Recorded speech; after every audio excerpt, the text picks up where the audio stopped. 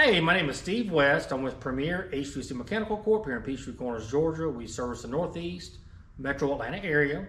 I have done a previous video on our 2024 Carrier um, product lines. Um, just kind of give a brief description of all the product lines, and I just want to do a quick video to just uh, zero in on our uh, top tier or top product line Infinity system.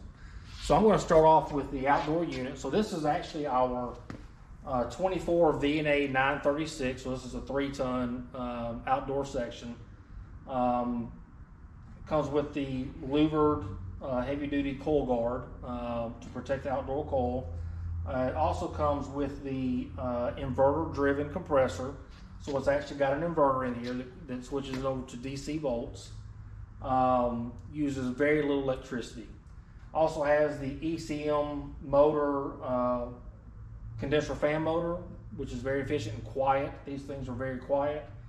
So this is a five-stage outdoor unit. Um, once you get into the Infinity series, you're really getting into uh, technical uh, features of any air conditioning system. This is the top of the line. Uh, I think, it, my opinion, it has the best technology of any communicating system that's out there. Uh, of course, I'm biased because I'm a carrier dealer. Uh, but but um, since it's a five-stage outdoor unit, and we paired up, this is actually a high-efficient uh, 59 TN6 uh, indoor furnace. Uh, so you vent this one with PVC um, to go to the outside. So this is what you call a condensing furnace. So it does produce water in the wintertime. Uh, so you have to pay special attention on how you drain these in the wintertime for when it gets below freezing outside because water lines can drain, which can uh, make these furnaces uh, inoperable if you don't uh, watch what you're doing with that. So these uh, Infinity systems, depending upon which uh, matchup you put them with, you can go anywhere from 19 SEER up to 26 SEER rating, and that's a SEER 2 rating. Um, and then I'm going to get into the Infinity thermostat. So the Infinity thermostat, here again, it has all kinds of parameters that I can set as the pro when we when we install these units. Uh, our techs or I have to go in and actually set up the system for what you actually have at your house.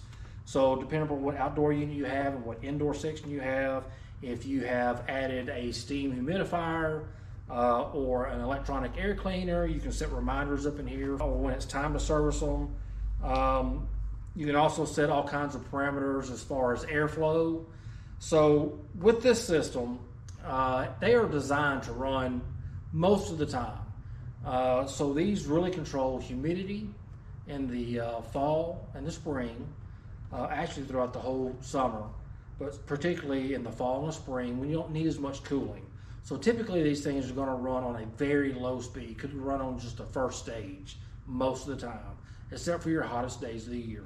It may ramp up to 75, 80%, and then once it gets close to that level and you reach the humidity targets that you've put it input it into the controls that you would like to reach, it kind of communicates with the outdoor humidity and temperature and the indoor humidity and temperature to make the fan speeds adjust to each other to reach that set point.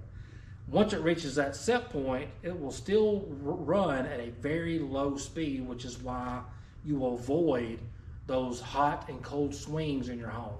This is designed to give you a much more even temperature throughout your house at all times. It's not going to come on at 100% and go right back off. So you get hot and then the AC comes on, it cools it down real quick, and then you go back and forth. These are designed to maintain that 70 or 72 degrees at all times. Um, these systems are really great with zoning. So if you are zoning with uh, more than two zones, uh, and that's kind of just my kind of rule of thumb, because if you got two zones and they're fairly equal in size, say you've got a four ton Infinity system and you've got two tons of air conditioning going to one place and close to two tons of air conditioning going to another place. It's no big deal. These can really handle that. And you can also probably do a two stage in that situation. They won't be as efficient, they won't be as communicating as this system is. But when you get above two zones, Uh, when you get into three, four, and five zones where you're only calling for five to 700 CFM per zone at a time, you can actually set the parameters in the pro settings of how much CFM is going to go to each zone, which is what really helps with wind noise, uh, get you away from having to do bypass dampers because it's actually regulating the airflow uh, of what the actual airflow is calling for in each specific zone. Uh, the carrier infinity zoning system comes with a 15 position zone damper, so it's just not open and closed. So it's coordinating with the indoor blower motor, variable speed motor. It's ramping up and down with the outdoor five stage uh, inverter compressor. It's ramping up and down together, and they are communicating also with the indoor uh, zoning board to tell this 15 position damper it needs to be open at 10%, 15%, 20%, whatever. So it's got 15 positions, and that's how it regulates even more the airflow down or up, which way it needs to go. So you really can pinpoint the um, temperatures that you desire in each zone much better with these Infinity systems, especially once above two zones. So if you'd like to have any more information about these, we are running rebates on these in uh, 2024, instant rebates. Uh, if you would go to our website, we typically have those rebates and specials that we run on our website at www.supercoolguys.com. If you're in our service area, we'd like a free uh, estimate for a changeout or for a new install, you can give us a call at 770 696 4189. And if you liked our content, please support us by hitting the share, like, subscribe button below. And remember, we're not super cool until you are.